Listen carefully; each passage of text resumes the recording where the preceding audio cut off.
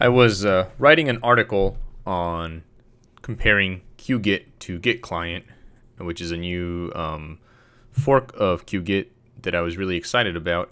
And as I was doing all my screenshots, I realized this would actually make an easier video than having to spend a bunch of um, characters and screenshots explaining what I meant. So let's start off looking at um, Git, QGit. So uh, this is what I've been using for a few years now and um, this is my uh, most complicated repo, um, the one that's got the most going on, uh, and this is basically what it looks like in QGit. So right now, I've uh, I've committed everything here at the uh, Devel branch, um, and then as far as um, GitHub's concerned, right, the master is here, and GitHub 2 Devel is here, uh, and you can go back and back and back and see all the different tags and all the different things that I've done with this program as I've been going through in Git. So uh, the nice things with QGit, right, is it makes it really easy to make a tag. Just go here, make a tag. Um, it'll you, it'll give you a message to put in there, um, and um, you can do checkouts. Uh, you can view patches, all this type of stuff. Most of the time, um, all I'm I'm using is uh, the ability to put tags here and kind of visualize where am I. So um, if I push something, you know, what are the relative um, branches looking like? Um, so the nice thing about the way QGit is set up, um, as you go through each of these, um, you've got your log, and then you've easily got your diff here. Uh, probably, there we go. This would be a better one to look at. So you go here, diff, you can kind of go through each of the files and see what changed. So it's all right, works okay. Uh, very old, um, very old uh, program, but it's still working all right. Uh, now let's take a look at GitQlient, which again is a fork of QGit. So this is the exact same repo. Now this looks like a modern client, right? But it's not just about the looks, it's the way that it works that makes it um, so much more useful to me. So um, you saw before, if I wanted to look at, let me bring it up here. If I wanted to see, so I can tell the two branches I'm working on here, and probably for a project like this, where it's just me, it's, it's probably not that big a deal. But if I want to see all the possible branches, I have to right click here, go here, here's all the branches I've got. And then for remote branches, here's all the remote branches. I've got to delete some of those. Some of those don't exist anymore on GitHub. And there's all my tags. But with GitQlient, that stuff's all right there on the screen to begin with. Um, here's all my branches. I'm not sure what's going on here. Um, I might need to do a, a uh, bug report, or maybe um, I need to do a push or pull here for um, GitQlient to figure out where it is compared to master and origin. Um, then here we've got our remotes. Here we've got all of our tags, um, any stashes or submodules, and then any staged or unstaged files. Of course, I've got no local changes at the moment. And then here's all my untracked files, which is awesome because I'm often um, hitting git status just to see what's untracked or git status to see what's unstaged or staged. Um, I'm doing that on the command line. And now, um, if this thing, uh, I think here, I probably would need to, I don't know if auto fetch is fetching from GitHub or if it's how often um, the repo would update itself. But basically, if it's going um, as I'm typing, that would make it th that would make this as useful to me as GitKraken is on Windows.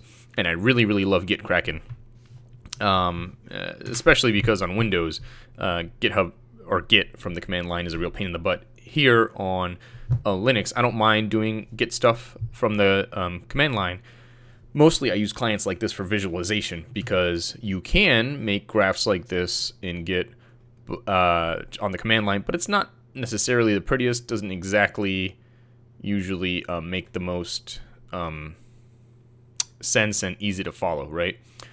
Um, so, so this is the, you know, you're getting a lot more information here, a lot more information density, but in a really great way. I guess here's the refresh button in case that stuff doesn't refresh automatically in terms of what I'm staging, what what needs to be worked on. And then here I could just make my commit, boom. Um, uh, as I talked about in a uh, blog post uh, for for this particular project, I'm usually doing my commits um, within kdevelop. Um, but for my Last.fm Twitter, which is a much simpler project, you can even see the graph is just a straight line. Um, here, uh, I'm doing it in Kate, so um, making use of this could be pretty useful. And actually, um, I heard about GitQlient on the Kate blog, and they're thinking of integrating um, GitQlient into Kate. And I, I, think the this author originally was looking at it as something that could be integrated into um, Qt uh, Designer. No, not Designer. The other, the other Qt IDE. So anyway, so this would seem all sunshine and roses, amazing, really cool. Um, like I said, really useful. There is, oh yeah, and up here you can search by the long message, which is great. Um, there is one thing where, um, where uh, the Git uh, QGit works a little bit better, which is if I go here, I see what my message was, um, mm, that's not necessarily the best thing here. Um, let's see if I find one where I put a like a longer description. Oh, here we go. Here I actually put a description, right? So, uh, and then here's um, here's the file. Now in in QGit, it'd be really easy to click and see the diffs, but here I have to go to the file, right click, and then do either diff or blame. So if I do diff, now I can see the diff. Um, and uh, oh, these are other things that I was diffing before. So you can kind of like queue up a bunch of them, which is kind of neat. So, so let me go back over here. Let's say, uh, let's find a more complicated one. Here we go. So I could do here to, uh, I guess I got to do them one at a time. So I can do diff, uh, come back to repo view, diff.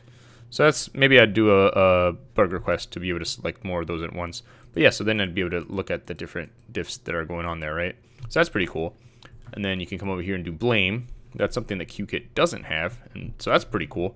So you can kind of see here across the graph all the different things that I've done. And then, so this is kind of like um, in uh, in uh, Git uh, GitHub has something like this now, where you can kind of see all the things you changed and when you changed them. Um, so I'm not sure about that particular error there because I do have obviously a git repo going on. So again, there may be something where there's either a bug here or you know this is only the 1.0 product product, or it may be that um, so there's one I've got a lot of stuff written. Uh, it may be one of the cases where it just needs to like pull and push here so that the repo knows. Let me see what happens if I hit refresh. I'm hitting refresh that didn't change anything there.